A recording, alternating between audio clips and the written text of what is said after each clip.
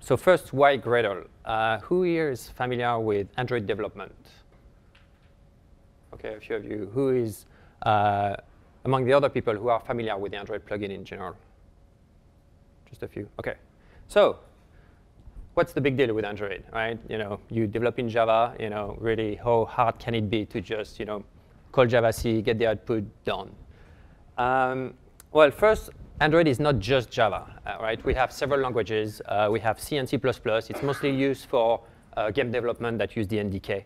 Uh, there are some applications that do both Java and, uh, and C++ through JNI.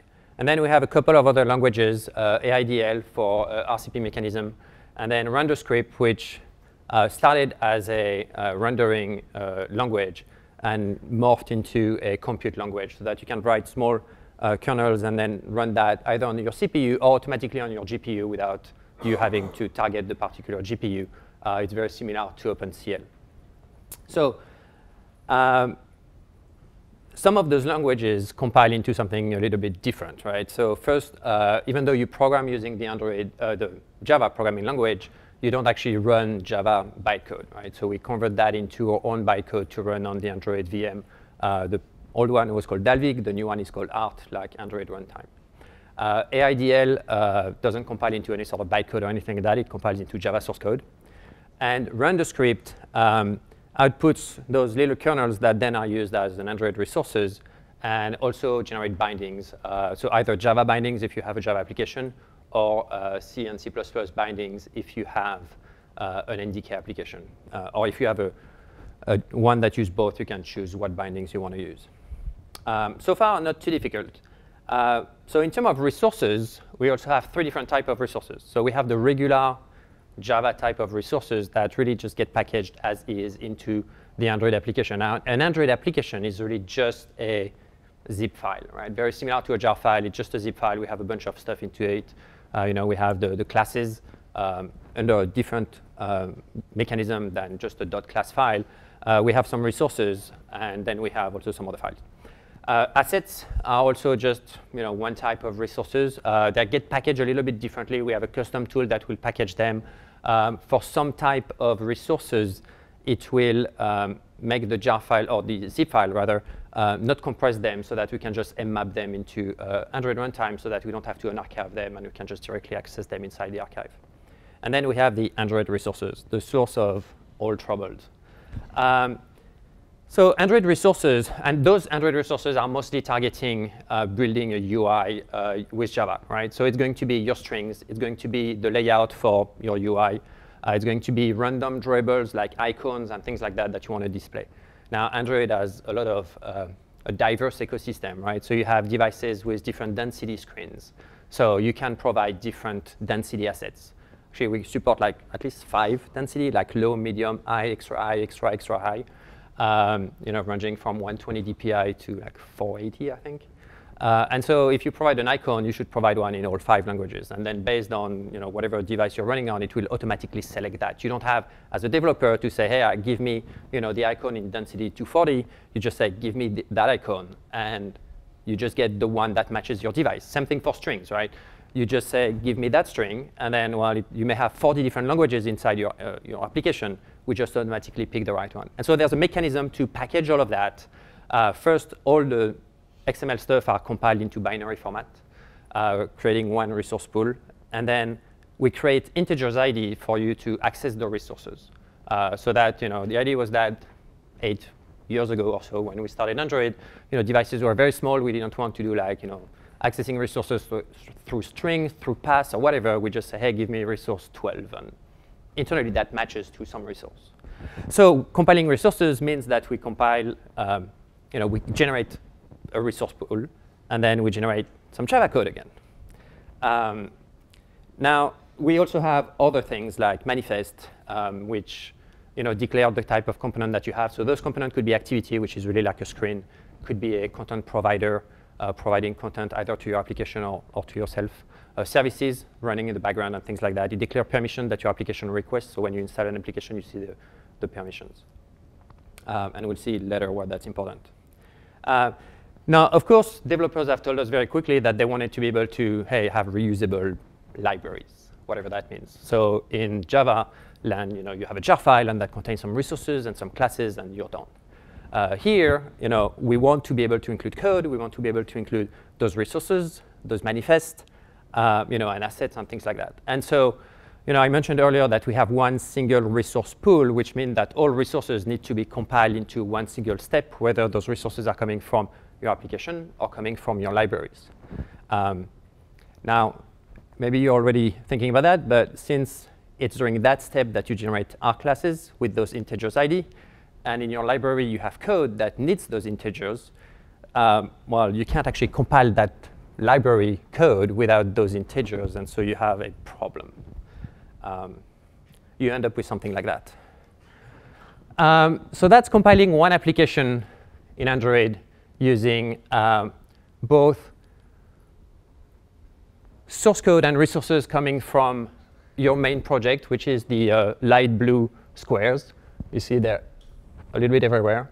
Then those red squares are the content of your libraries, right? So I said earlier, like, right, in Javaland, you have one jar file, and that's it. You pass it to Javac, done. And then you put it on your class path, done. So here we have to kind of like explode that library and we have to use some of its component over there, some of its component over there, and, and it's a mess. Um, all the yellow squares are basically outputs, uh, including those two here, which are really what you care about. Uh, so there's a lot of intermediary files. And then the, um, I don't know if you can really see the color, but those like purplish squares are actually content of the SDK that gets injected. There, there's like headers for render script, headers for uh, the NDK. There's the Android Android.jar, which is your API over there. There's some random jar that maybe you need to use. If, if, there's a dotted line, it's sort of like an optional feature that you may want to enable in your, in your application. Um,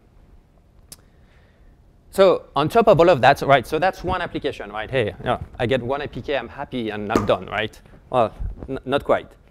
Um, so that's a phone. We need to be very careful about securing your data. So there's a lot of security feature on your phone that makes it so that, for example, you can't connect a debugger to your application by default. Otherwise, you could connect a debugger to any application, which means that you can go and look inside the data and then store information from that particular running process.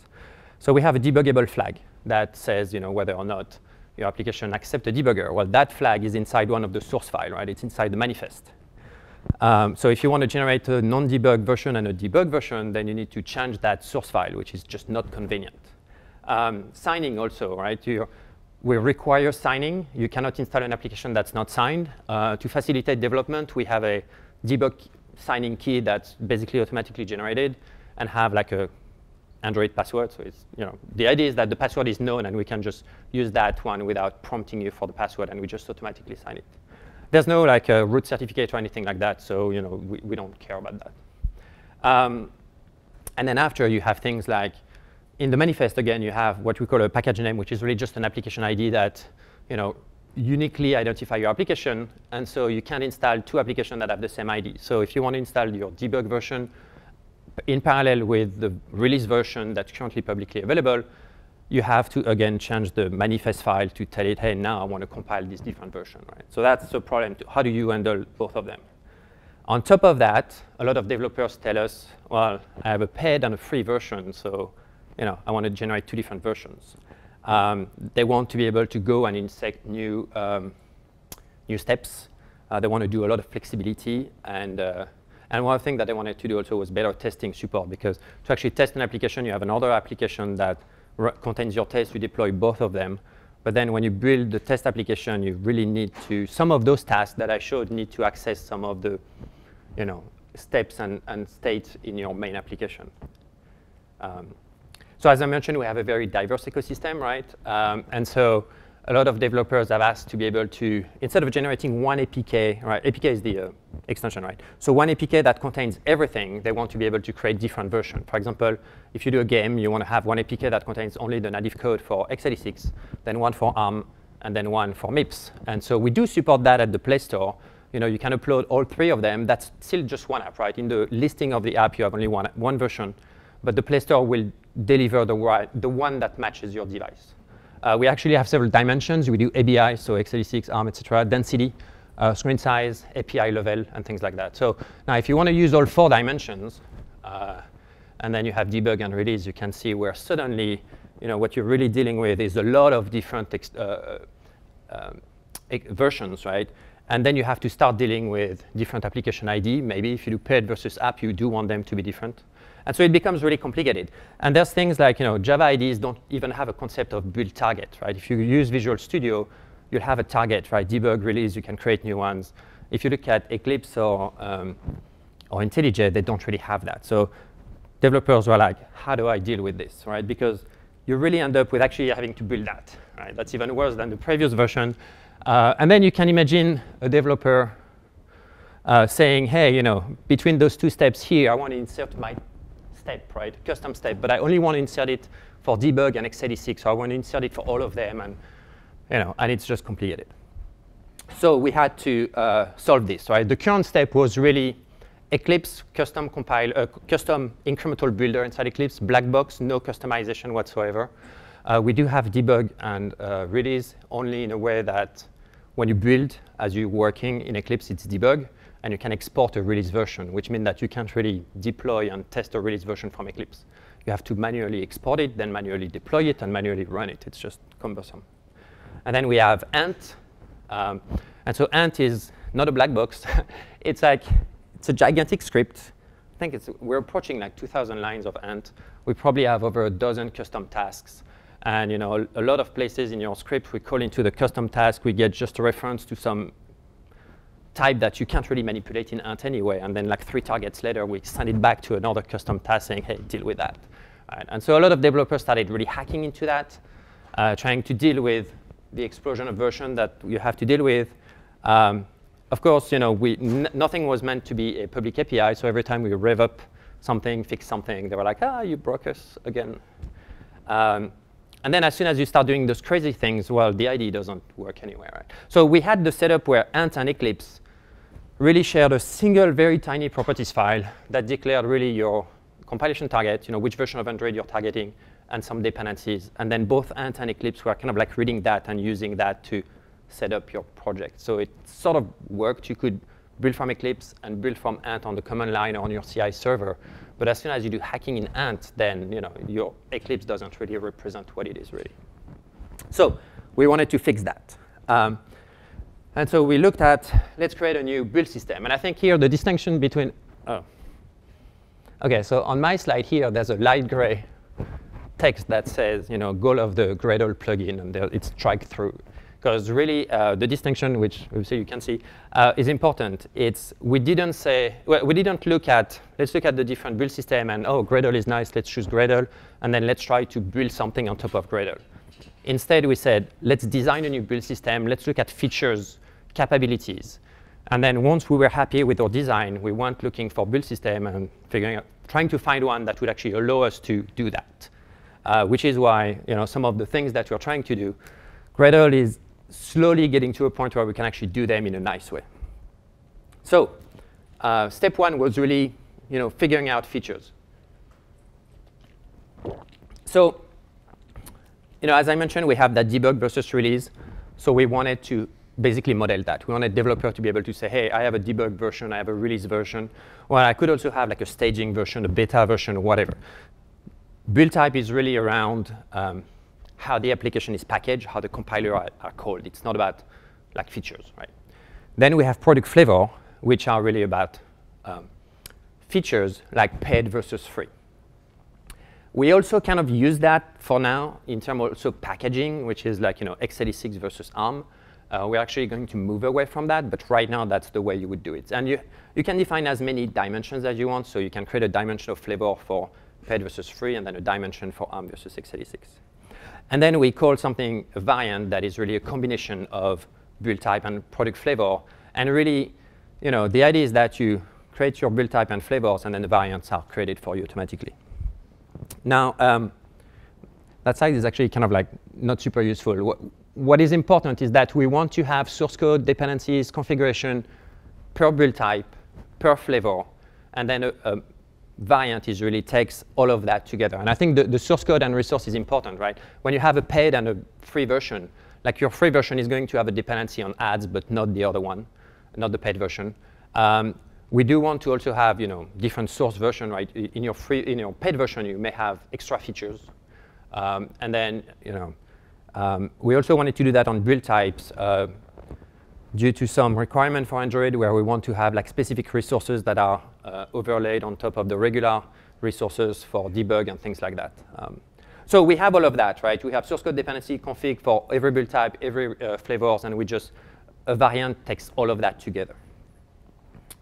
Um, so, so that was kind of like the, the concept that we had. And then we had some basic requirement, right? Uh, we don't, you know, we dealt with like the script, which is just like a bunch of targets, you know, really about what am I doing at each target, right? And we just want a developer to be able to say, you know, to model those concepts that I just talked about, saying, I want a build type, you know, I want a product flavor, and then just have the build behind the, uh, behind the door, just do, do the right thing. And then we wanted flexibility and customization. Um, and we want them in a way that really the IDE can support, right? We wanted to get away from a build for CI or command line and a build inside the IDE. We want a single build system. So it's super important that when developers say, hey, I have a couple of steps that I want to insert here, you know, the IDE is fine. It says, you know, sure, no problem, you know. Uh, you know, and that's a little bit more tricky than, than you know, uh, anything else, really. And a big bonus for us was, you know, we don't want that to feel like it's a hack, right? We, we came from a place where even in Eclipse, it really looked like the Android support was kind of tacked on on top of something else, right? Because, you know, this is a Java IDE, and Android is Java sort of plus a lot of complications. So when we had project dependencies, it was just like a complete mess because we, you know, as you saw, our dependency with the library, that was very complicated. So we really wanted to do something that was super designed for Android, or that, that, that looked like it was designed for Android. So, um, so we started, you know, we did that document that had explained everything that we wanted to do. And then, you know, I started looking at different build system, and I had a conference call with Adam and Hans. And uh, we had a really good talk, and Hans was like, yeah, sure, no problem. We can do everything you want. Um, which is true, sort of. Um, but then you run into so, some limitations, right? So, you know, the answer was yes, you can model, you know, your own domain. Uh, you can create your own custom DSL that really makes it look like it's your build system. Um, you know, and then automatically create tasks and create variants and do all of that, no problem. You know, you can even expose APIs to your users so that they can go and change your model and impact your task and all of that. And it's true, you know, we can do that. Um, and then the tooling API was like really interesting, where it's like, okay, you can query your project and ask it what's going on, and then use that in the IDE to you know, set up your IDE project. Um, well, at the time, you couldn't actually have a custom model, and the default Java model obviously doesn't work for us, but you know, we discovered that a little bit after. Um, and it's always open source, Android is open source, that's kind of nice. So, I mean, the idea was that really we could have an Android build system versus just like, you know, it's just a plugin where, you know, it sort of look, you know, like tacked on to something existing, right? Um, so when we did that, you know, that was in summer 2012, which is about two years ago. Um, and Gradle had just hit 1.0 in June 2012, right? So you can imagine that Gradle at back then was still very much like Java focused. And there was a lot of limitation for that. Um, as I said, the tooling API did not have custom models. Uh, and there were some, you know, limitations. Uh, now, two years later, there's been a lot of improvements. We're super happy. Um, and there's a lot of good things that, you know, if you saw the keynote yesterday morning, you know, are coming that are going to be super awesome for us. Um, so we are happy. I mean, like two years later, basically, we're still in, you know, version 0.11. Um, we started, you know, when we started talking with them was in July, I think, 2012. Um, actually, Adam did the first prototype for us just to show us how that could be done. And like we released version 0.1 in October 2012. And, you know, 18 months later, basically, we're at 0.11, and uh, hopefully this year we'll be at 1.0. All right, so let's talk a little bit about some of the things that we do inside the plugin. Um, so we are still, you know, at the core, you know, a lot of the work is, um, you know, building Java code. So we do apply the Java-based plugin. So the Java-based plugin is not, um, is, so, so they, they had this distinction, and it's, it's getting better, but they had this distinction where the regular Java plugin will create default source sets, default tasks, and things like that. The Java-based plugin will not create the source set. It will just enable you to create source set, enable you to create tasks for compilation and things like that, but it doesn't create any default. Um, and it's super important because we don't want the default. We want to be able to use some of the plumbing that the Java plugin does, but we don't want those defaults. Uh, and then we get access to dependencies, you know, configuration object, and you know, build, assemble, and, and some check tasks. Um, and so based on that, we create that DSL. You know, um, you know, Android, and then you have build type. You can create as many as you want, and then we have product flavor, and we can create as many as we want. And it's, you know, it, it looks like it's meant for Android. Yes. Was it a design goal, or is it now a design goal to uh, support things like the code quality plugins of the? Right. So the question is about uh, is it a design goal to support the code quality plugin? The answer is yes. I'm getting to some of the limitation why we're not actually supporting them right now. Um, so um, what's important here is that, you know, as I said earlier, you know, the goal was for developer to say, here's a, I have a, you know, I have a debug version, I have a release version, I have a paid version, I have a free version. Uh, that's what they say to their build.gradle. They don't say, hey, you know, take that source code, compile it with javac, take that source code, compile it with the script compiler, et cetera, right? It's very much, this is what I want, right? And so uh, that defined a input model for us. You know, it's basically a list of product flavor, each have their own properties and things like that. And then we take all of that, um, you know, and then we generate a output model really, which is our variants uh, and things like that. Uh, and then we have on top of that an API to go and customize that, right? So, uh, you know, as I said, you know, a variant is a mix of build type and product flavor. And so very early on, what we are doing is as you know, uh, Gradle parses that. It's like, hey, a debug. So I create a debug object, and I put it in the debug the build type container. And then we said, oh, debug, OK, let's create a variant called debug. Then we pass release, like, oh, let's create a, a variant called release. And then we see, hey, paid. Oh, well, so I don't have a debug variant and a release variant. Instead, I have a paid release and a paid debug. Oh, I find a you know, free version, so I add this one. Well, I had both of them, right? Debug free and paid free. And then let's imagine you find a, suddenly you pass a new dimension of flavor. So you go back to whatever flavor you have and you add a new dimension to the existing. And well, the problem is that that works when you create the model, but if you also create the tasks, then it becomes a nightmare. Um, and so we moved from um, very early on, we moved from generating the task as we evaluate to just say, OK, let's just wait until we've passed the whole model. Then in after evaluate, we'll just you know, create our models and create the task and create the variants. And this is great, except that it doesn't quite uh, play nicely with other plugins that may actually you know, want to do things before after evaluate.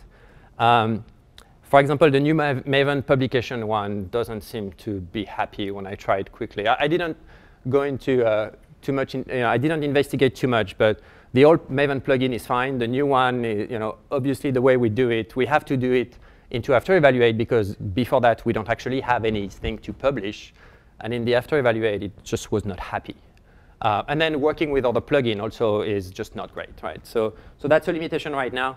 Uh, all the things that Hans and Adam talked about with the new configuration rule and all of that should get us to a point where we can, as we're passing the thing, really just, you know, create a rule that say, hey, I need to do something once the build types are all configured, once all the flavors are all configured, and then once all of them are configured, we can create a rule that says, okay, now we can create the model. And that will happen before the after evaluate. So as soon as they do that, we'll migrate to it. Uh, so I mentioned API. So here, you know, we take the build type, the flavor, and then we create that variant. And then we have this API, application variant, that allow you to act on those variants. Well, here's the trick.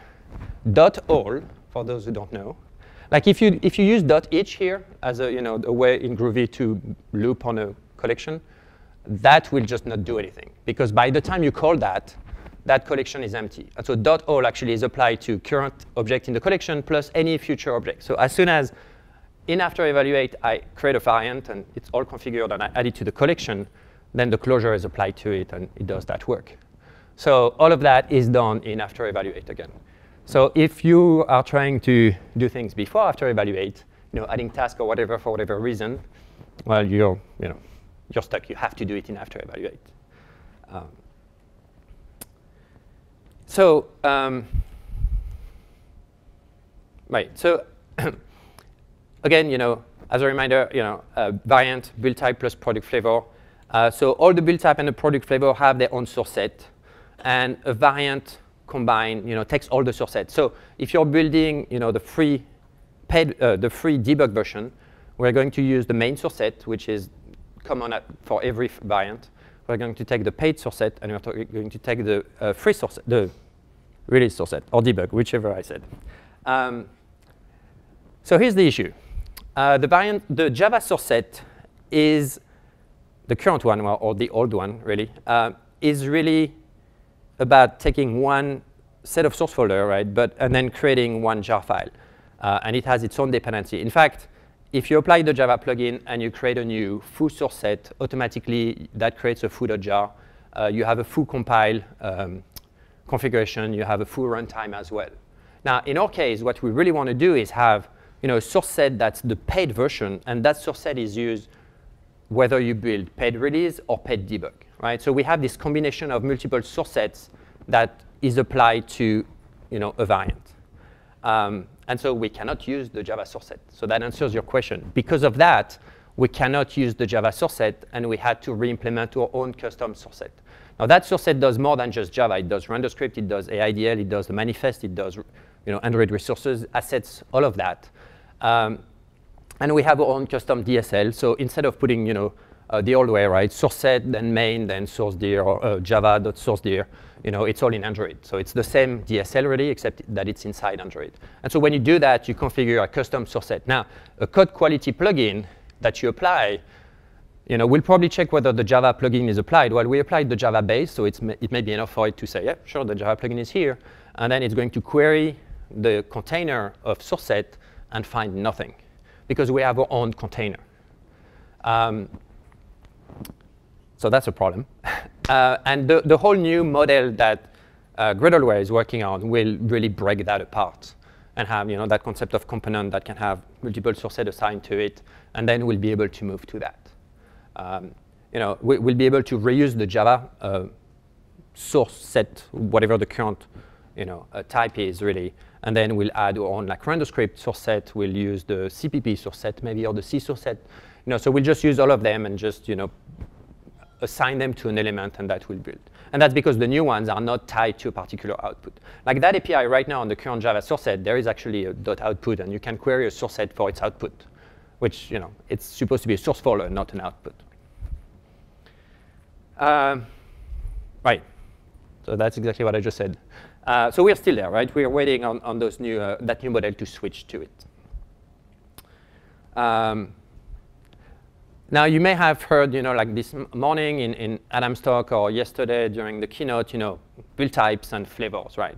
Well, we have the same concept. Uh, we did them first. Um, so, you know, we created those because we needed them. And, and I mean, they translate exactly into what you need for native stuff, right? Uh, so we're still trying to figure out, and, and you know, I was talking with Daz about that earlier today. It's like, you know, how are we going to have our build type match their build type? Do we just extend their build type to add our property to it, or do we just have, you know, two different models? We just ensure that they're always in sync, or what? It's still a, uh, you know, we're still talking about that, trying to figure out how we're going to handle that. Uh, but our goal is really to move to those uh, concepts as soon as, you know, they are compatible with what we want to do. The idea here would be that, you know, you could have any sort of code style, you know, code quality plugin, whatever, that queries the model saying, hey, you know, give me the list of build types, right? And it should answer a proper list, whether those were created using, you know, the regular Gradle DSL or whether still through our DSL. And, and we're also still talking about, you know, are we going to adopt their DSL or are we going to keep our DSL and just, you know, under the hood connect to their model? Their new model is actually nicer in a way that, you know, they're really separated plugin that generate the model and a plugin that add the DSL to your project. So we can go in and apply their model plugin, but provide your own DSL on top of it. Yes? What, if any, uh, implications are there for support of other IDEs such as Eclipse? So implication of support for other IDEs. Um, I will talk about IDEs a little bit later, so we can, we can see that. OK. Um, so since we have on source set, you know, I mentioned earlier that you know the Java source set create also its compile and runtime scopes. Uh, so we have to create your own dependency, right? So you, we create three scopes. Apparently, provided is like there's a bug on the uh, Gradle tracker about provided. So we created one anyway, uh, since it's custom anyway. Um, so we have compiled, we have provided, we have APK. APK is our version of runtime. In Android, there's no shared library. So we have to package all the dependencies. So at first, we were like, hey, let's call it package. Well, that's a reserved Java keyword, so it doesn't work in the DSL. So we call it APK, like the extension. Um, OK, so you have three scopes, except that, you know, remember, we have, you know, uh, pro uh, product flavor and build type. So what you really want is you want to be able to have, you know, debug compile and debug provided and debug APK. And then you want to have ped compile and ped APK and ped provided. So we have all three of them for every single build type and product flavor. And when it doesn't say anything in front, when it just, you know, it's the main one. Um, so we have to deal with that. So um, at first, we were like resolving every single one of them separately, and we realized that it's a bad idea, because if you have your main configuration object that depends on, let's say, Guava 14, and then you have debug compiled that depends on Guava 15, really, we should resolve both of them together when we build a debug variant and use whatever is resolution so that Gradle tells us, well, I see two versions of the same library, I pick the highest one. So what we do here is that we create a configuration based on the name of the variant. So um, you know, we create that in the after evaluate uh, whenever the variant is created, and variant.name is guaranteed to be unique.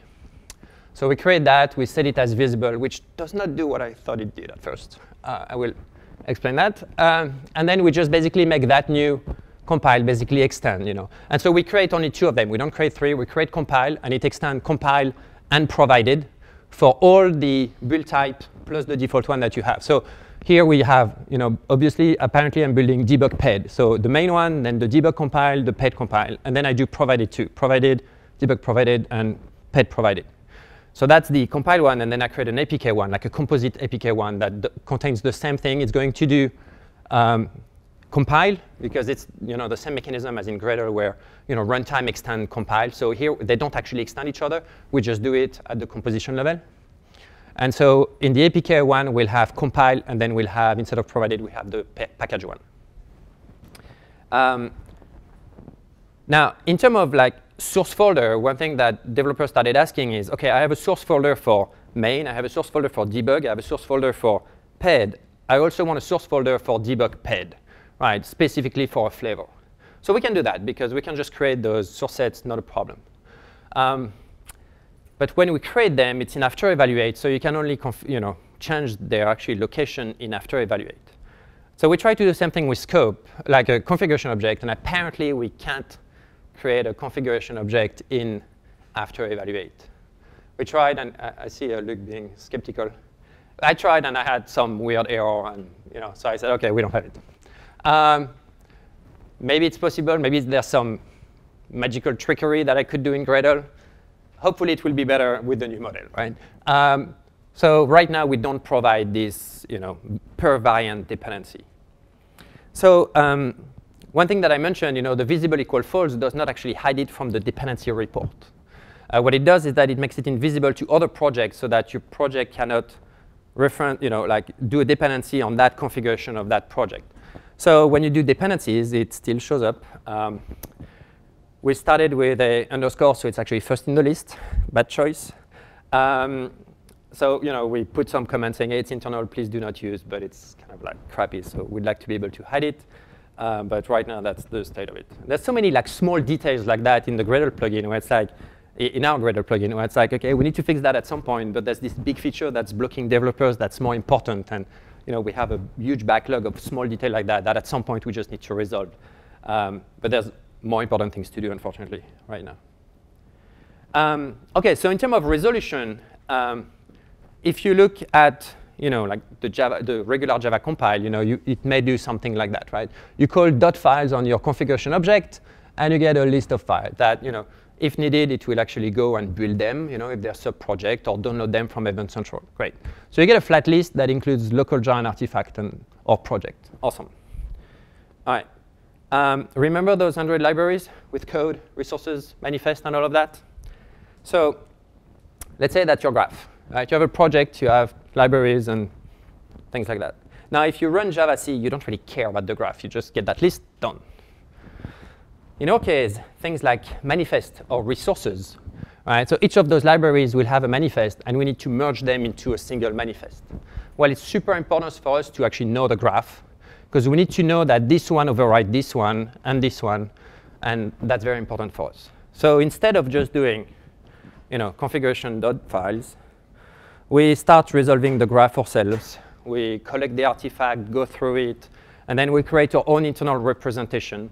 Um, and uh, the goal here is to have really that graph and, and to have you know, a list of objects that represent the content, and then we can go and pass that to, let's say, the code that merged the manifest and saying, here's the graph you know, of a bunch of libraries that have um, stuff into it. Uh, we have some issue with the API. Uh, small things. Um, apparently, Gradle 2.0 finally have the ability to get us the Javadoc because we need to send that to the IDE, right? We can't, you know, like if you build it and you don't get the Javadoc, it doesn't matter. But inside the IDE integration, we want it.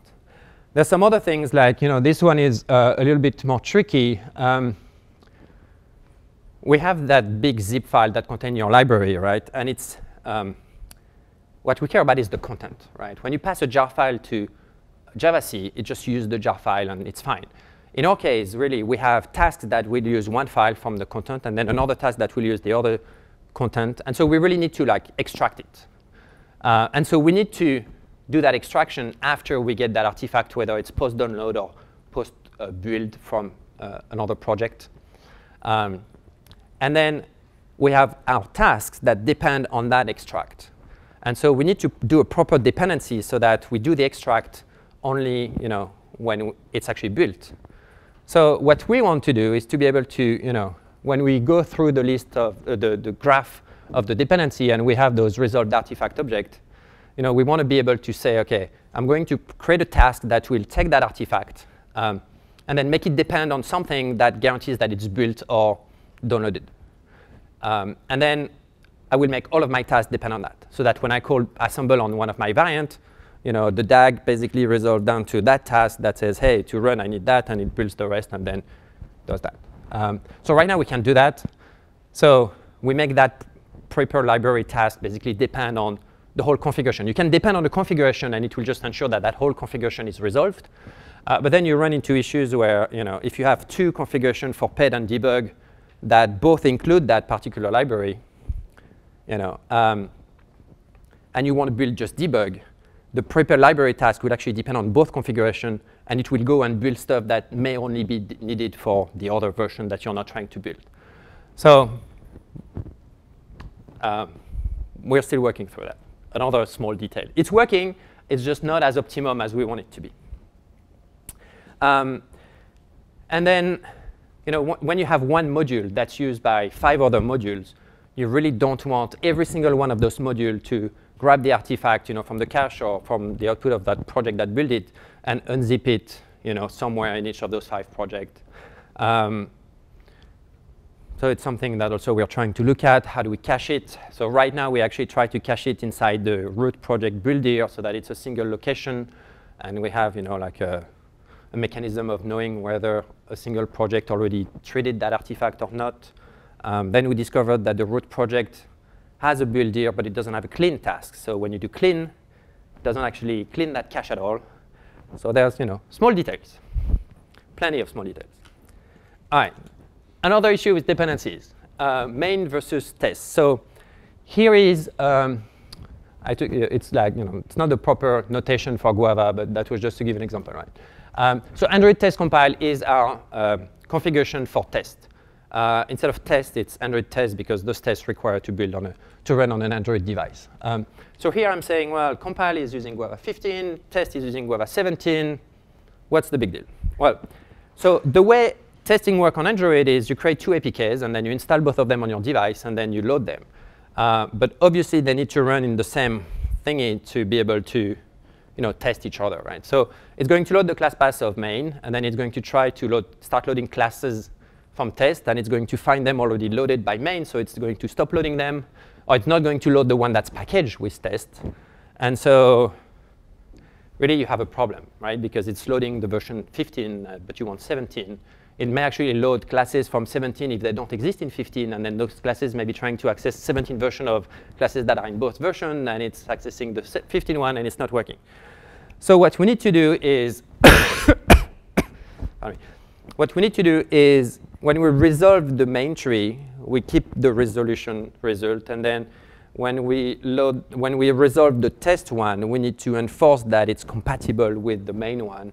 And if there's an artifact that's already there, it needs to be in a version that's compatible. And what that means is, you know, if you have 15 in main and 13 in test, it should use 15, at least to compile.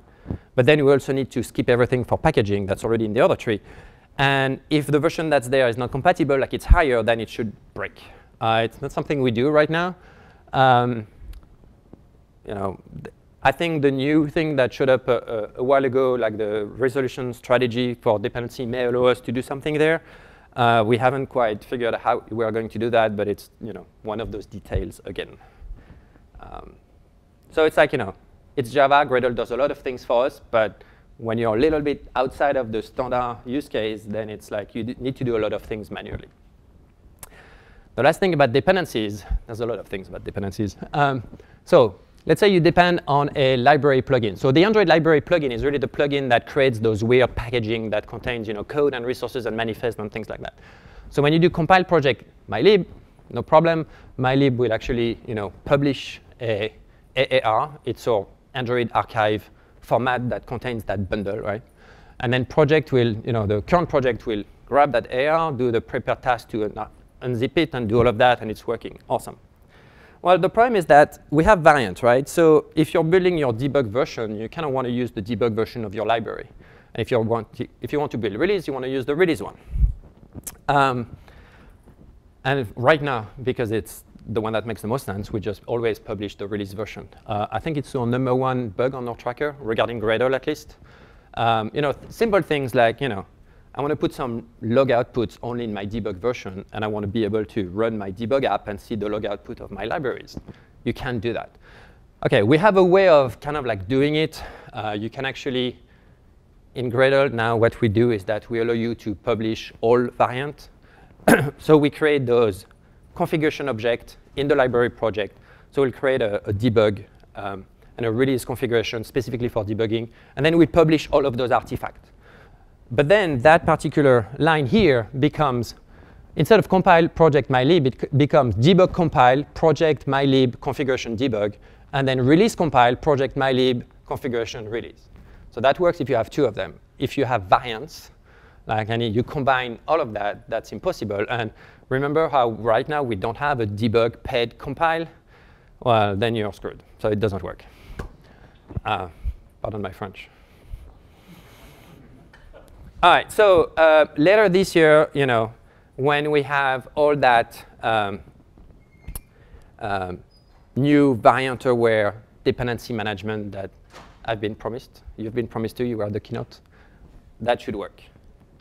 Uh, all right, so um, yeah, dependency is, is really like, you know, when we started, it's like, hey, look, it's working. You know, we, in the first few months, we did our plugin, we were super happy, it's working. And then every now and then, we go into detail, we get a weird bug report from the users, and, and it's just like, you know, clearly there's more detail that we need to pay attention to. And, and right now, it's something where um, we're going to need to do a lot of work there, but we're also kind of waiting on the new, you know, variant, um, variant aware configuration. So we're kind of like waiting to see what the minimum we can fix until, uh, until we get the new thing, at which point we'll probably have to redo a lot of things anyway.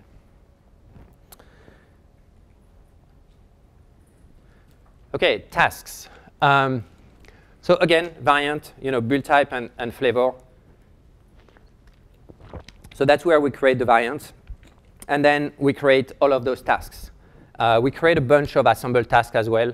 So for example, if you have, again, you know, debug free and ped release, we create a debug, ass uh, assemble debug that will create every variant of, of debug, whether it's ped or free. And then if you do assemble ped, it will build the debug and the release version of free. So we do a bunch of things like that.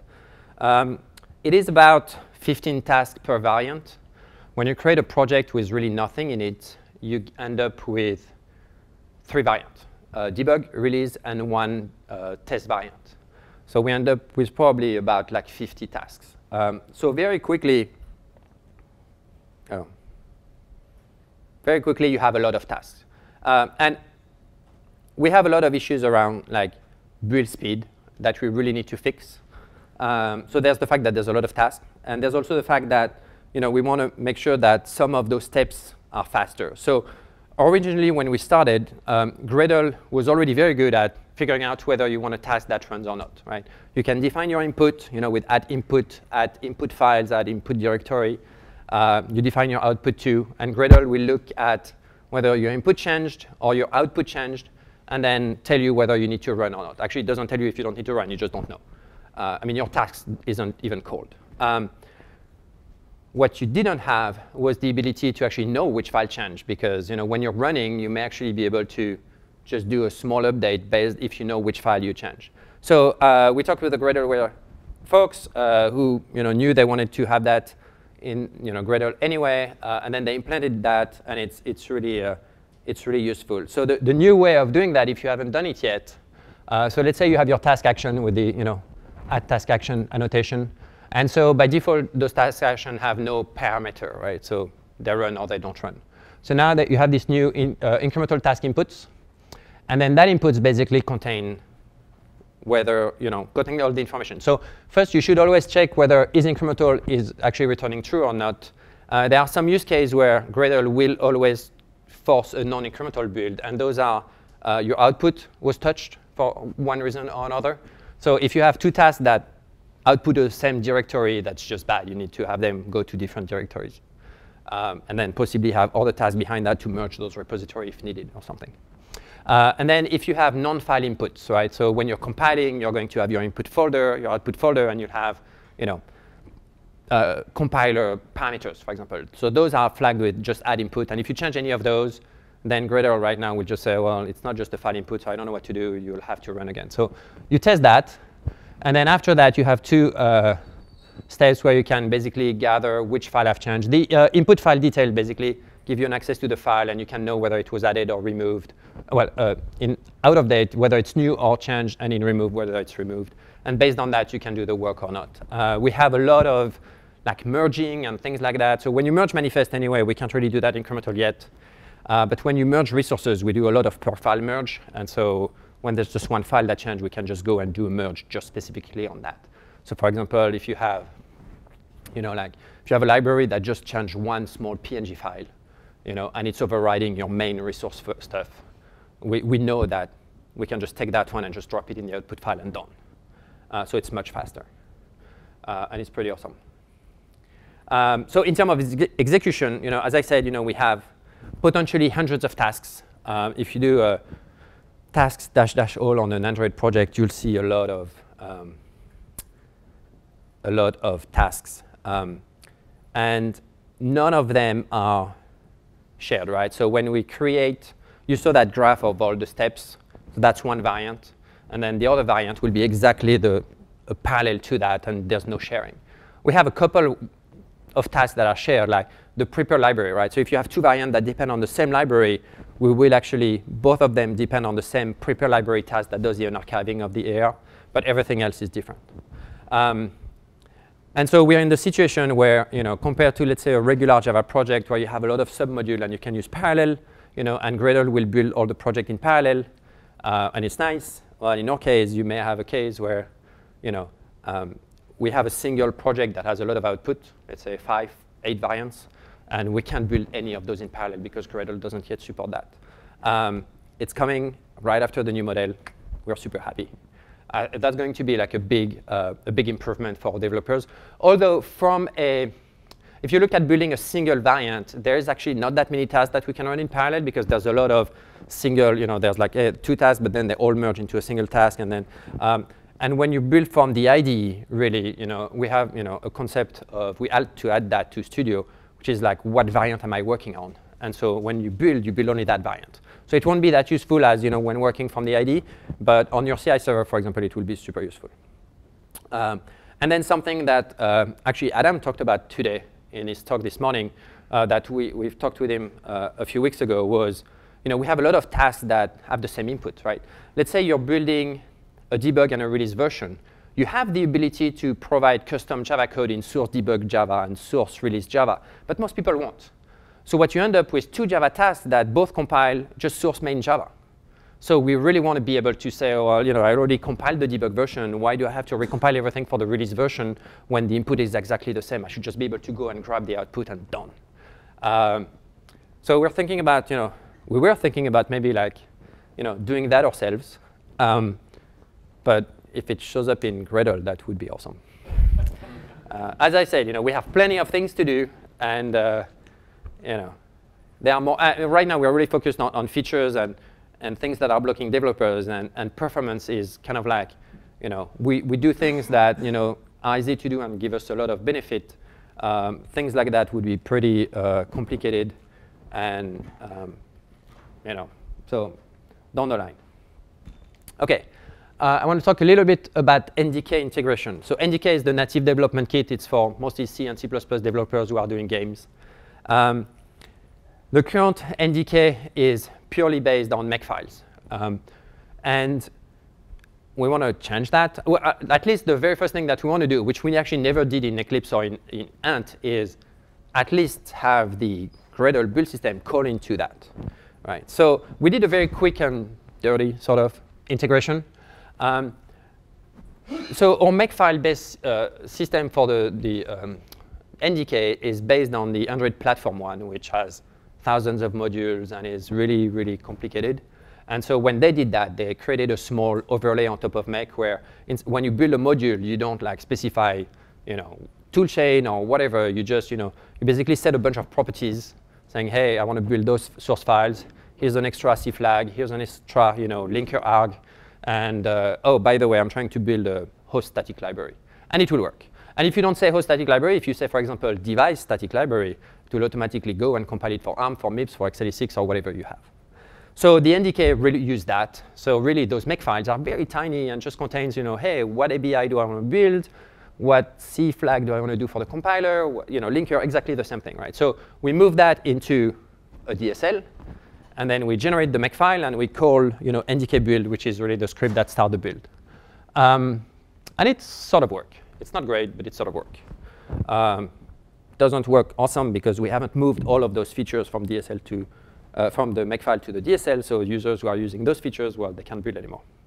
So that's kind of annoying. Uh, but we never actually documented the NDK integration. So it's people who really looked at the source code who found it. So it's their problem, uh, sort of, right? Really uh, early adopters. So Gradle 1.12 has really good native support there are some changes in the support in 2.0 that because everything is incubating, but it's pretty awesome. And so we want to move to that directly. Um, we started doing some tests, you know, and we, so here's what we're going to do. Um, the new mechanism in um, the native support is you can define platforms. So um, that slide is completely wrong. Um, so here it should say x86, of course, right? Because architecture x86. So what you want to do as a developer who's targeting x86 and ARM is, is define those platforms. Not that all of them are Linux, right? They're not anything else. Uh, so we would define that, and then we would create a toolchain. Why do I have a square on that? I don't know why. So we would create a toolchain, and the NDK actually ships with toolchain for you. We ship with GCC uh, 4.4, 4.6, 4.8, Clang 3.1, and 3.3. And those tool chains are able to, uh, actually, so Clang is able to, from one tool chain, output ARM, x86, and MIPS. And GCC, we have a GCC MIPS, a GCC ARM, and a GCC x86. So there's a lot of toolchain to set up here, right? Uh, you have to say where they are. And then we have this thing here, add platform configuration, where you know, in that implementation, we would say, OK, that particular toolchain, oh yeah, that's the MIPS toolchain, so it can only go and it's only compatible with the MIPS platform. And that's really all you need to do in Gradle now. You do that, and then you tell it, hey, build, you know, whatever artifact you want, and it just takes care of everything. And it's pretty awesome. Um, we're still, you know, in the process of making that work, uh, especially that stuff here disappeared in 2.0, so we'll have to adapt. Um, but it's, it's very nice. So, so we, we're not there yet, but I was actually using that to actually build the SDK, the Android SDK part of it. Uh, we're, we're moving it at least the tools section to Gradle. So we're building the SDK with Gradle, and we have a it's mostly Java stuff, but we have a couple of native uh, tools. And we only have build servers for Linux and Mac, but a lot of our users are on Windows. And so we use that exact same mechanism. We have a toolchain called MinGW that allows you to create a Windows executable on Linux. And so we do exactly that. We define the toolchain, we give it the path, you know, because it's pre-installed somewhere. And then we do a platform configuration, and we say, hey, that toolchain is able to target Windows. And then when we try to use Windows, Gradle just goes and uses that toolchain and builds it, and it actually works. Uh, so it's pretty awesome. Um, so our idea here is to basically do all of that for you under the cover, right? You say, I have an Android application. Um, I want to target. So we'll have a small DSL that tells you, I want to target you know, only ARM and x86 because I don't have a MIPS device. And you know, I want to make sure that I can test what I deploy. Um, and then you know, I want to build with Clang, right? Because we have a lot of toolchain. It's up to you to choose which one you want. And so you'll just tell us, hey, I want to use you know, GCC 4.8. And then we'll just do that setup for you automatically. And we'll make sure that our packaging task just calls the right you know, build task, and then that's it. Uh, everything else will be taken care of by Gradle, which is pretty awesome. Um, it's, you know, if it's the uh, a vision into, you know, like a preview of what's going to happen with the Java language, you know, toward the end of the year, that's, that's really, really super awesome for us. Um, yes, so it works, but it's incubating and it's broken in 2.0. Uh, you know, we'll have to adapt. All right. well, you guys broke us. So yeah, that's how I see it. But actually, actually, it is better because like th this thing here is, is sort of broken because it adds a configuration, but you can't remove the default one. And so it's, it's kind of weird. Like uh, I was, I I, with my small test to build the SDK stuff, you know, I ended up with using that Windows toolchain to build a Linux executable, which of course didn't really work. So it's actually an improvement, but it's breaking us. All right, testing the plugin. Um, so first, a lot of our code is actually not in our Gradle plugin, right? Um, one of the things that we've always done in, in the SDK tools is that we've always tried to have our libraries as reusable as possible for other people. Um, and so we have this builder library that really is the core of all the logic to actually do the build. Um, I think the Maven plugin is starting to use it, uh, which is good. Um, and then we have a bunch of other libraries, like you know, we have one for the manifest builder, uh, merger, let's just say merger, SDK common is a bunch of stuff shared between the IDE and, uh, and the tools and the command line tools. SDK lib is just a library to parse the content of the SDK and things like that. So all of those libraries really, we just like we just test them, you know, on their own. It's just Java stuff, you know. Uh, you know, we have a lot of data sample where you know, like the manifest merger, for example, we just have a lot of use case of you know, this is a bunch of manifests. I should get that output, and we just make sure that those tests work. So no, nothing weird here. So testing the plugin itself uh, we, we have a lot of different um, ways of doing it. Um, so we have a relatively complex DSL, and it's really building a model under it, right? And so we want to make sure that we can test that model. Um, so we do things like that. so here, um, we're creating a project dynamically using the project builder stuff. Uh, I think you have to pass it a project dir, but it doesn't really matter what's inside because after, anyway, we create the DSL here directly. Uh, so uh, obviously it works only in Groovy, right? You have to write your test in Groovy. It doesn't work in Java. I mean, there's probably a way of making uh, in Java because technically that's just, you know, a uh, method call anyway. But then it looks better that way. And then after, we just get our plugin, you know, a plugin, that's our class for the plugin. And then we just call, you know, non-public API and we just make sure that the internal state are good. So here it's pretty basic, right? There's nothing. Um, and then you know, we have more complex tests that actually you know, set up, let's say like set up a signing configuration and then assign it to a particular um, build type. And then internally we go and make sure that, yes, the build type has that signing configuration set up instead of none. Right? So that gives us a way of making sure that you know, some of those linkage and, you know, and all of that stuff actually works. Um, then we do, uh, we want to test the actual APIs, right? Um, which is actually, well, sort of. So uh, it, we do both of them in that particular case. So we do the same thing here. You know, we apply the plugin. Um, so remember how all our tasks are created in the after evaluate? So we try to call evaluate here to actually do the call evaluate, but then our plugin does a lot of checks and things, and we kind of want to bypass that anyway. All we care about is, OK, what kind of variant did we create? And you know, are the tasks that we created OK? So what we know is that if after evaluate, actually just call that method. So we just call it directly. It's private, obviously. You can call that normally. And then we just start looking at, you know, variant data list. You know, that's the thing. So I, I mentioned earlier, you know, you have three variants, debug, release, and test. So we kind of do that. And that allows us to basically look at all the internal model that was created in after evaluate. Um, so that gives us, you know, an idea of making sure that the model is good. Now, what we really want to know is whether it, we can actually build stuff, right? So um, we have a lot of test projects, and we just want to build them. So we have a automated way, which is just we create a list of projects and we you know, create a test suite automatically. And we just build them. And if they manage to build and we don't get any error, we're happy, the test is green. Um, in theory, we can even run, and we run that through the tooling API. Uh, and the tooling API give you the ability to run that on any specific version of Gradle that you want. Uh, we used to only mostly support one, like the latest one. Uh, right now, we support actually 110, 111, and 112. So in theory, we should run them, run the test on, and do it for each project on all three versions. Uh, it's disabled right now because it just takes too long. Yeah. Uh, so are you saying the testing supports 110, 111, 112, or the Android plugin supports? The Android. Uh, the question is whether testing or the plugin supports 110, 111. Right now, the plugin should support 110, 111, 112. Uh, it's, I think, 010 maybe, or the 09? Yeah, we, because we found that we could only use 110, 110 and 110. Really? We, like, so only, I'm sorry? 010, uh, Oh, it's 010 who started support all three? Okay. Yeah. See, I don't, I don't even know. Coming as soon as possible? So yeah, so 2.0, um, we actually use a lot of internal APIs right now, which is why we sometimes don't support the right version. Uh, we actually spend quite a bit of time um, moving away from those internal APIs recently. Uh, and our goal is to be compatible with 2.0 as soon as it's out there.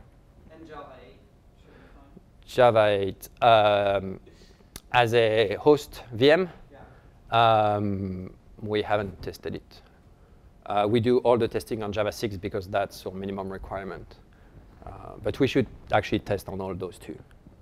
Um, so that's the automated um, test, you know, and it's very easy to set up pretty because we just, you know, you just give it a list of projects and it just goes and build them. And then we have a manual test where it's really, um, you know, each project, again, use the tooling API to build, to call a task on that project, and then we have some custom code to go and look at the output, make sure that things are created correctly, um, you know, make sure that, you know, things are there. Um, it's, it's a bit cumbersome to write, but it's not too, too bad. Um, so as I said, it's kind of slow. Um, we have 40 projects. Now, a lot of those projects actually are multi-module projects because we have to try to test the dependency stuff. Uh, we even have some uh, through the automated uh, manual test that is a not a multi-module project, but there's a bunch of modules that publish to a local artifact, and then the other one that you know consume it and things like that. Uh, it takes about eight minutes to run. Uh, we do run them on um, on CI, and we run them you know whenever we want from the command line. Um, then the other test that we have is device test, right? Uh, it's good to go and check whether things are working, but when you um, when you're testing some, like especially the output of resources, like that resource pool is like it's binary, right? And it's like I didn't want to write something that you know go and poke into that. It's like you know. So instead, what we do uh, is like we also need to be testing anyway that we're packaging test application correctly. So we actually have test application, you know, some of those tests that have a test app, and then we connect a device, and when we run that, it's going to build those projects. It's going to deploy them to a device with the test application, and the test app is going to test to run its test. And those tests are not designed to actually test you know, what your app is doing. It's mostly testing how it was packaged, things that should be there or not be there, things that should be obfuscated or not obfuscated if you put some rules in your program and things like that. And, you know, and then if those tests pass, then your actual test pass. Um, again, it's kind of slow. Um, and it requires a device, which is kind of problematic. So we don't actually run those on, on Jenkins, which is really crappy. Um, but every, you know, every time we, you know, every now and then, you know, at least once a day, we have a device connected and we run them locally. Yeah. What about uh, emulator? What about emulators? Uh, there is a plugin that um, allow you to start an uh, emulator on Jenkins. Uh, I haven't really looked into it. Um, it's something that we need to look into. Uh, we just haven't had, you know, it, you know, we just, you know, it's, it, you know, we all have devices anyway, so it's super easy to run locally, and I run them like all the time. Um, but it's something we need to look into. We just haven't had a chance to do it yet. And then the final test, uh, uh, type of test that we have is the tooling API. Right? The, the, tooling API is uh, really critical for us for the ID integration. And we expose a fairly uh, exhaustive model uh, to the ID. And so we actually test that. Um, so the test here is simple. We just use the tooling API to go and query the model. And then we just make sure that the model contains what it should contain. And we have like about 20 different projects that have all sort of different variants and dependencies and things like that. And we just check the content of all of those model models for all of those projects. Um, and that's about it for the testing that we do, really. Uh, we don't have any sort of um, testing per task and, you know, without running as part of a big, uh, um, you know, just testing a single app, the, uh, um, single task, you know, we would have to fake input, probably fake the internal cache so that we don't have to run all the other stuff in the, in the background. Um, it, it, may be possible right now. I don't know. We just haven't really looked into it. And we don't really test incremental support, which is a problem. We really need to start fixing that. Um, you know, it, it, would require us to basically, you know, take a project, copy it somewhere locally, um, you know, run the build there, then go and tweak some file, and then run the build again, and make sure that the output is correct. The thing is that you don't really know, like if you do something stupid and you actually enable the fact that it didn't use the incremental, um, I'm not sure how we would do that. I think you could actually go through you know, the output. I think through the tooling API, you can get the, out, the probably the info output, and then we would have to go and parse that and make sure that you know, it says, oh, you know, running because that is out of date. I actually don't know if it says whether it's incremental or not. So we would have to figure something out. Um, it's something that we need to look into because it, it, we actually had a couple of bugs recently uh, with regard to dexing that was not incremental correctly. So we, we need to look into that. Um, we also don't have anything that checks that our tasks are proper, like the dependency graph of our task is correctly done. Um, and whether two tasks that you know depend on each other, you know, output, you know, one output something somewhere and it's consumed correctly, right? if there could be a uh, out of sync, it's all based on path. So we do, you know, when, we set it up, we have task A that outputs in that location, and then task B, its input is always a closure that returns like, you know, the get output or whatever on the other task. So it should not be out of sync, but we don't really have anything to test that.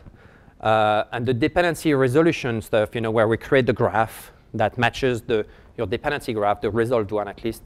Uh, we don't really have anything there. We do test the resolution sort of through the model uh, when we query the model, we can actually know, um, you know, but the, the, the thing is that the model is created mostly for ID, and at the ID level, we don't really care about that. Actually, do we? Um, we don't really have anything that tests the graph, but I think we pass the graph and not the flat. I think we changed it, actually. We used to pass just the flat dependencies, just passing everything to the IDE. And one of the things that we broke in 1.6 was changing the model. And I think one of the things that we passed is that now we pass it as a graph. So we might actually be able to use the tooling API to make sure that the graph that we generate is actually what we expect. Um, and then the last thing that we don't really test is parallelism. Uh, you know, what happens if you build your project in parallel, making sure that everything is good, that you don't have any weird race condition or anything like that. We don't do that yet. OK, uh, IDE integration. So I mentioned very early on that you know, this is a key point for us. We want to have a single build system, and that system should be the center of everything, right? It's really Gradle as the core of our strategy with the ID that uses Gradle, your uh, CI that uses Gradle. If you build from the command line, it uses Gradle. Whatever, it's like always built with Gradle, right? If you look at current IDs, except apparently for NetBeans, Uh, but NetBeans has always been us using Ant, I think, in the background to build anyway. So I think it's kind of used to, correct me if I'm wrong. Since 2004. Yeah, so, so they, they used to Ant to build anyway, uh, unlike IntelliJ or Eclipse, which have their own internal builders.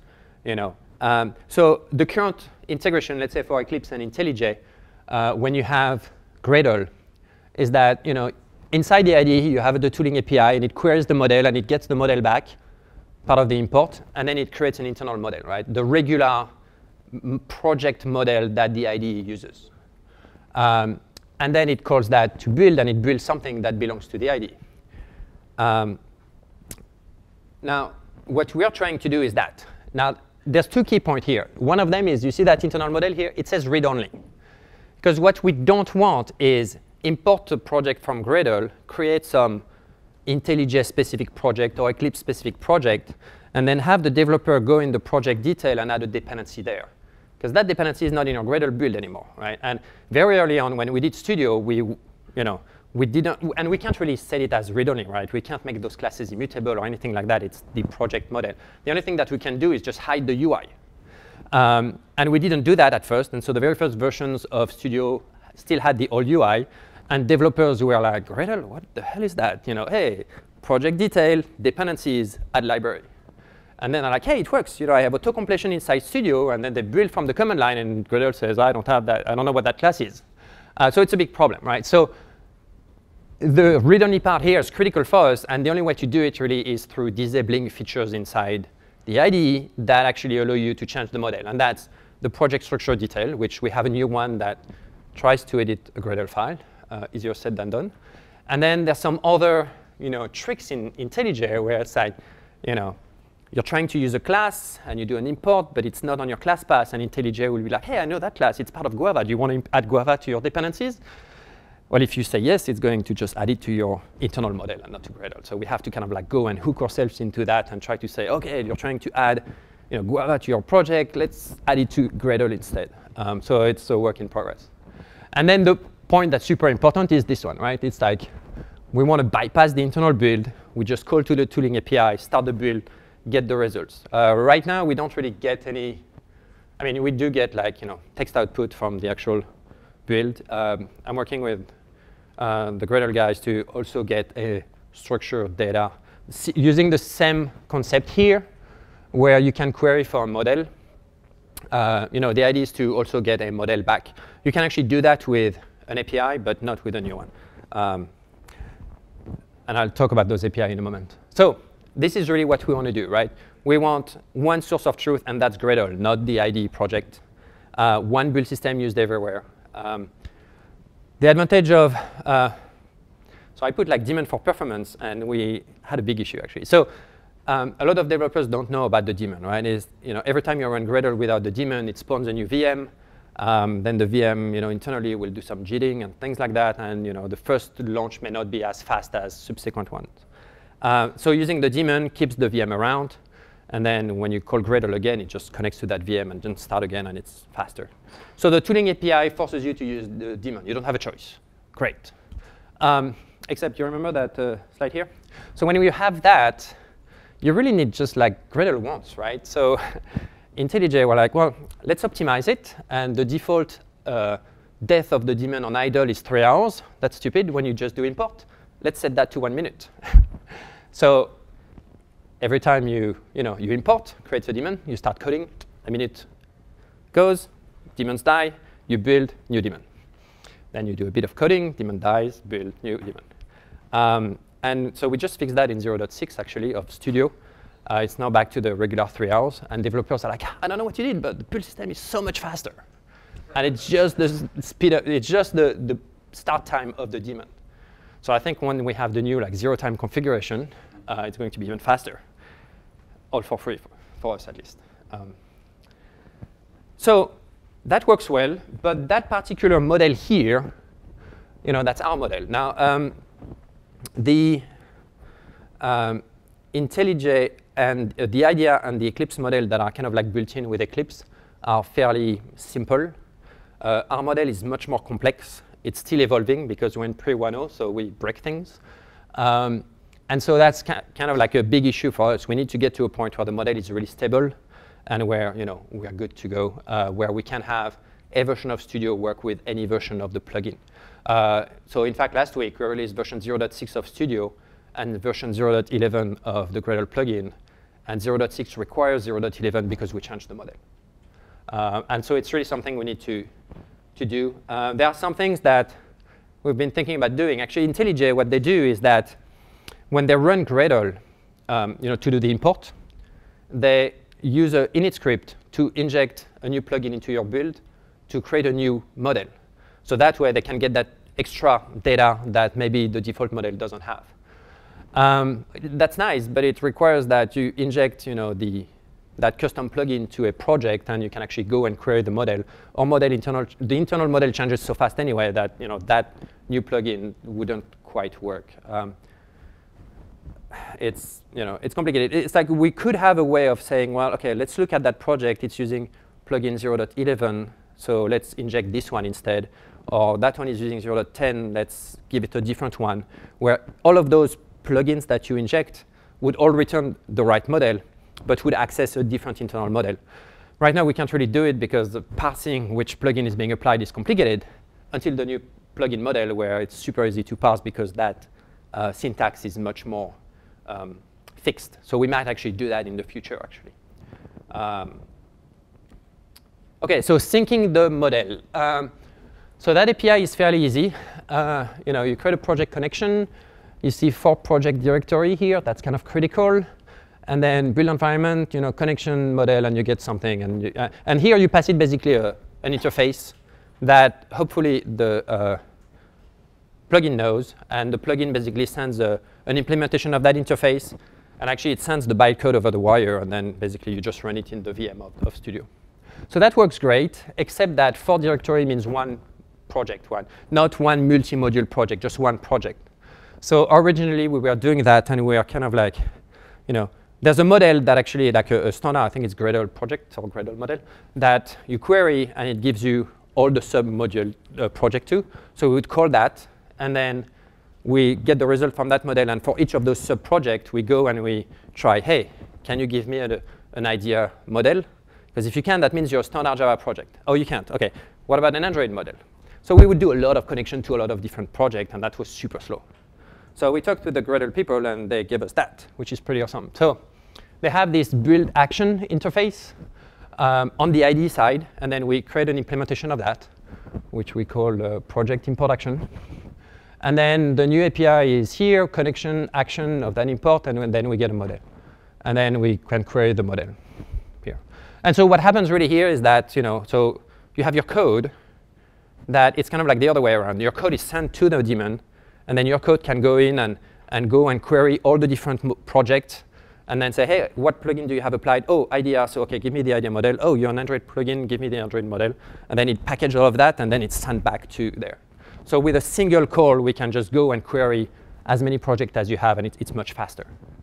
Uh, so that's pretty awesome. That improved the uh, experience of syncing a lot. And the experience of syncing is really important, right? Because, you know, one source of truth, that means that every time you want to change something to your build, you're going to touch build.gradle, which means that you need to make sure that the IDE know about your change, which means that you need to sync and you need to send that back. Now, when you have like a big project with Okay, it's not big in terms of like LinkedIn, right? It's like, let's say 200 project. Uh, we have an internal project with like 200 project, and you know, it's about a minute to configure, right? So every time you change a build.gradle somewhere, it's going to take a minute to configure, and, and it's, you know, slow. So you want to, I mean, so, so th there was two uh, bottleneck, right? The first one was calling the old action, the old uh, API, which do, would do a lot of sync. And then the new, the, the new bottleneck really is the configuration uh, time, which will get down to zero this year. Um, yeah. So have you thought about um, instead of syncing, when do you sync, I guess? So we sync when we open the project. Um, we think when we detect that you touched the build.gradle. How do you, when, when do you detect that you touched the? Um, it's a good question. Uh, the question is when do we detect that we change the build.gradle? Um, obviously, if you're editing it with inside IntelliJ, we know about it. I'm not sure when that happens when you're editing it from outside of IntelliJ, but IntelliJ just listens to those files and we reload them because it indexes them. So I think we just listen to that. As soon as IntelliJ detects that those files have been touched for reindexing, then it just, we know. I, I was wondering if it would make, so this goes to kind of watcher mode and actually having the Gradle daemon get notified instead directly. So the, the question is having the, the daemon being notified instead and potentially do things. I think uh, Adam talked a little bit about having the daemon be a bit preemptive and, and doing things automatically. Um, so yeah, that would be awesome for us if you know, it could detect it and just do it, especially with the new configuration time that's zero, right? Yeah. Uh, and then we can just query it and that's done. Uh, that would be awesome for us. Um, so um, the, the one thing that we would like to do actually is, um, you know, that API here allow us to also apparently Adam told me that yesterday, to both do a build and query for a model. So our idea also is to, whenever you do a build, we can get the new model, like an updated model maybe, and plus maybe an actually a, an extended model with some uh, data, uh, like the result of the build or whatever. Um, I don't think, well, it's not clear whether that API supports it. Is going to check for us. We're going to check. and uh, But our goal will also be that you, know, you don't really have to sync. Like, you know, we just do it whenever you you know, whenever you build. Uh, but really, if the configuration is zero, it's like we may as well do it every time the file is changed in the background without developer having to do anything. Uh, the last thing that we do in the IDE, which is, uh, you know, we, we, need to try to be a bit more lenient. Wh what we want really is to sync at any cost. Uh, you know, it's a big problem if you break your build.gradle file and then we can't sync anymore. Right? So, so we do things like, that's the only one that we do for now, but I think we'll try to do more later. Um, you know, so when we resolve the dependencies, and we do resolve the dependency not lazily, we always do them when you build a model, because we have to get that dependency graph and all of that. So instead of get, doing just like resolve configuration and getting the list of resolved artifact, we say we inject through the daemon saying, hey, you're running from the ID. So if we detect that, then we do the lenient configuration, and that says like, you know, if there are some dependencies that are not resolved, that's OK. We get those broken dependencies, but it's better than not being able to sync, because if you run here, that's the same as running a build where Gradle says, I don't know what that dependency is, build breakage. And if the build breaks, then you don't have any sync. So that's kind of crappy. So, so we do that to try to alleviate for that problem. Um, in terms of problems that we have, uh, the model is static, so it's a big problem. And that's why we're trying to see if we can get the model after the build. Uh, we have developers who are like, well, so I use the awesome API to go and rename the output file to be based on the time.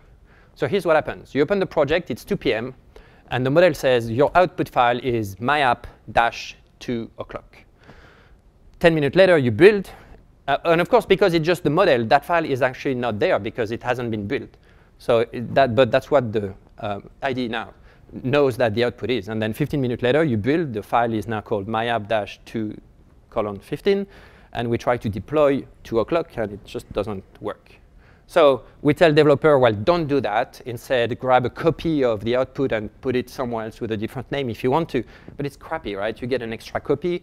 Some of those you know, applications, especially games that have a lot of assets, could be like tens, 50, 100 meg or whatever. It's like you don't want to do a copy every time you do a sync, uh, every time you do a build. So you know, we need to we need to find a solution, and the solution is you know being able to uh, get the model after the, the build.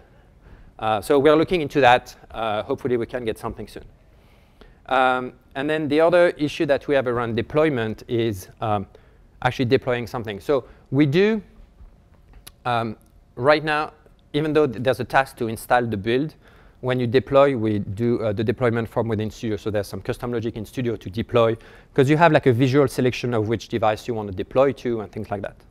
Um, and it's fine for deployment, but if you're running tests, um, so right now it's not something we support, but you know there, there's ways of controlling some things in the test by passing arguments and things like that to the test runner on the device. And if you set that up from your Gradle build and say, hey, I have like two different type of tests, one with those parameter, one with those parameter, when we want to deploy them from IntelliJ for Studio, we want to do exactly what that what Gradle would do, right? So what we want to do is to be able to run the test through the tooling API, get the result in a way that we can display as if it was native, uh, potentially run them with a debugger connected so that you can actually debug a test exactly the, right, the same way it would run on CI server.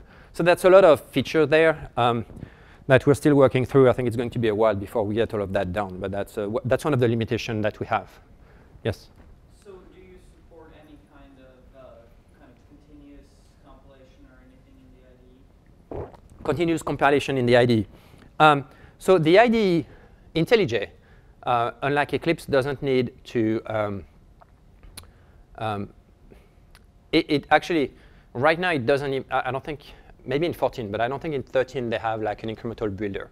Um, what they have is that they're really good at just like parsing your files to get the model and AST and things like that. So they really don't need the output of the compiler. Um, so continuous build inside the IDE is just like, you know, whenever you save and you build, you know, so uh, IntelliJ, well, they have an option, I think, in 13, but before they did not have like an option of, like Eclipse to uh, build every time you save. Uh, because they don't have an incremental compilation. But you don't need it because their code completion and code assistant doesn't care about the output of the build. So um, we're more like in that mode where you know we only build on demand, uh, but you don't need it to you know. It, IntelliJ is super quick. Like you, you add a file or whatever, it's just going to index it, and then it's available through code completion and refactoring and all of that. So it becomes much less important to actually build. Um, what we do is that when you actually build, we only run the task all the way to building Java. So part of the model that we pass back, we pass tasks to call. Even though IntelliJ shows you all the tasks, we only pass a couple that are really important. One is assemble, like the assemble ped debug, uh, to build that before deployment. And the other one that we pass is the, uh, uh, the Java compilation, which is going to call all the tasks that generate code, but it's just going to build the Java code. And then that way, because you're, you're inside Java IDE, so when you do build, really, you want to see your Java errors, probably. And it's much faster, too. You don't have to wait for all the packaging and indexing. That takes a lot of time. Um, OK. So basically, current state. It works, but there's some limitations. Uh, it's still a work in progress, but Hans said, you know, end of the year, so no pressure, Luke. Um, OK, uh, the last thing I want to talk about a little bit is feedback from users and, and some of the things that we've seen. Um, so our design of like creating those build types and flavors and all of that was like a huge help. Like we get people who tell us, you know, they went from crazy Ant script or custom work to just use the model and they're super happy. Uh, they have some issue with the current limitation and we're trying to run through that. Um, it's definitely a work in progress there. Uh, but there's also a learning curve in Gradle, right? I mean, it, it's basically I think right now Gradle is really a lot of like enterprise people who have like build lo lots of complicated builds and they want to improve that and you know like 4,000 module at LinkedIn or something and then you know they want to really improve that situation. And you know they make the decision as a company to do that and you know they have a bunch of dedicated people that will work on custom plugins and things like that. And then for the user it's mostly transparent. They're being told how to use it and things like that. Or external users are more like that. They want to create a project they want to build it they want to deploy now, there's nothing in those three bullet points about learning Gradle at all. Now, like Gradle, what? Um, and so, you know, we, we try to solve that, um, you know, by doing wizard and stuff like that. Um, that's our solution, right? We try to do wizards. We try to help you edit your build Gradle either with editor support or UI wizard. We do some documentation, and it helps, but it's not awesome. Uh, and then we get some feedback from developers saying, so I'm doing that, and it's not doing what I want. Can anyone detect what's going on here? So here's what's going on. Version code has a, you know, it's a getter, right? Uh, it's a property. So when you do get version code, it's calling build type, default build type, the default, should be default config here. Default config dot version code. It's not calling this one that you did here. Gradle doesn't tell you. So it's basically reassigning the same version to itself. And they're like, what's going on? And I, I didn't know what was going on. I looked at it, I'm like, sounds OK to me. And you know, Groovy is magical, and uh, there's a lot of things where it doesn't quite work the way you expect it to be. And then you know, we have a fairly complicated DSL, and people start doing that, right? So it's like, OK, I'm creating flavors. And then for that flavor, I'm going to loop on all the variants of that flavor and do some work here. And then on flavor 2, I'm going to loop on all those variants and do that. Well, what's happening here is that application variant is actually a you know, method on Android that returns all the variants. Not, it doesn't matter that you call it inside flavor 1 or flavor 2. What matters is that it just like, you know, so basically, you know, Groovy, we say, well, flavor 2 doesn't have an application variant property, so let me see. Uh, product flavor, that container doesn't have one either. Android, oh yeah, it has one, so let me just call that one. and you just don't know, right? Unless you really know how it's working.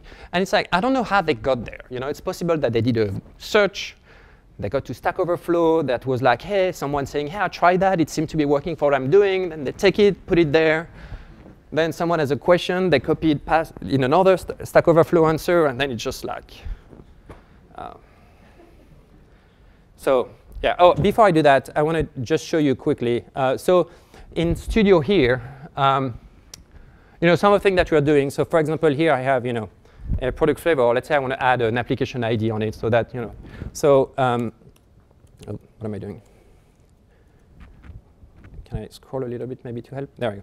So um, IntelliJ has Groovy support, and they sort of have support for the DSL of Gradle, but not for Android. And there's no way for our plugin to tell the IDE through the tooling API, hey, that's your DSL. So we hard-coded it, but if you do like that, for example, then you wait a little bit because their Groovy support is not awesome. But then you say, OK, it tells you, OK, appli application string is an option that you can use. And then you can actually go in and, you know, like we did all those links back to it, which does not really help because it's like, well, OK, you can actually see what that is, but you know, it's not great. You can see, okay, what the hell is run ProGuard? And it's like, oh, okay. So it tells you, it's a little bit better here. I don't know why the other one doesn't have. Oh, I think it's because like it doesn't really work. The Java code link doesn't really work on Groovy code, but on Java code it will work. So okay, you get access to that. So it, it's, you know, it's, a, it's a little help. Uh, and then the other thing that we do is, um, so I was talking about like the UI, right? And so if you know the uh, IntelliJ project structure, which looks like that with all the modules and uh, source dependencies and all like that, um, in Studio, we basically replaced it with a very much work in progress UI that's different, that also show you your modules. And here we'll show you, let's say, flavor. So you want to go to flavor 2 and say, OK, application ID is com.foo. You do OK. And then, boom, it's added here.